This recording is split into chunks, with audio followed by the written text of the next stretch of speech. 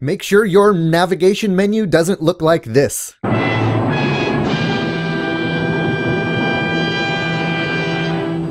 Learn how to avoid drop-down menu overload this week on Website Wednesday.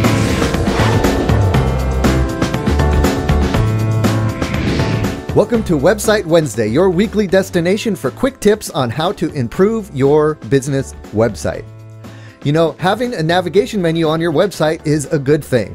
Having too many drop down menus and submenus on your navigation menu can be a bad thing. Consider the possible negative impact of including too many sub pages and sub sub pages and sub sub sub pages in your main menu navigation. First of all, it's hard for people to navigate that many sub menus. I know we've all had that experience on a website where we try to hover our mouse over a menu item and then try to go to the sub menu and then our mouse doesn't quite go right and then the whole thing disappears and we got to start all over again. That's a frustrating user experience. Also, Think about how this is going to work on a mobile phone. Too many submenus can be confusing and hard to navigate on a mobile phone. Finally, people get overwhelmed by too many choices. If you give them so many menu choices up front, they're going to be overwhelmed and might not be able to find what they're looking for. So I have some tips to help you avoid this type of sub menu overload. First of all, try adding as much info to your top level pages as possible. Now, the top level pages are those first layer of pages that appear in your navigation menu.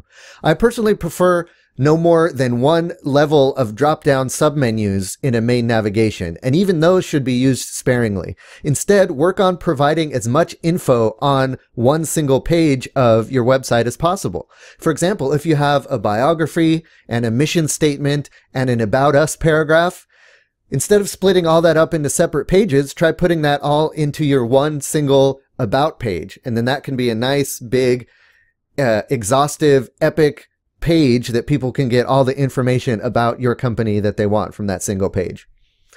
Second tip is to put uh, sub menu navigation into a separate menu entirely.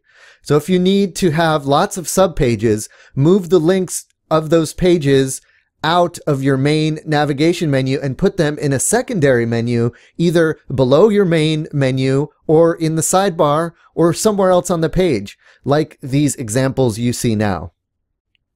Finally, consider adding a search feature to your site. I understand some sites absolutely need lots of pages and lots of subpages. If that's the case with your site, make it easy for visitors to find what they need quickly by using a search box. That way they don't need to go digging around through endless levels of subpages in your navigation menu to find what they're looking for. The good news is if you use WordPress, it comes built with a search box right out of the gate in a widget. And there are also many plugins out there that you can add to enhance the default search functionality in WordPress. All right, guys, tune in next week when we'll talk about how to encourage your visitors to interact with your website and why that's beneficial. If you found some great information in this episode, don't forget to subscribe or follow me here so you can keep up with the latest videos. And I'll see you next week on Website Wednesday.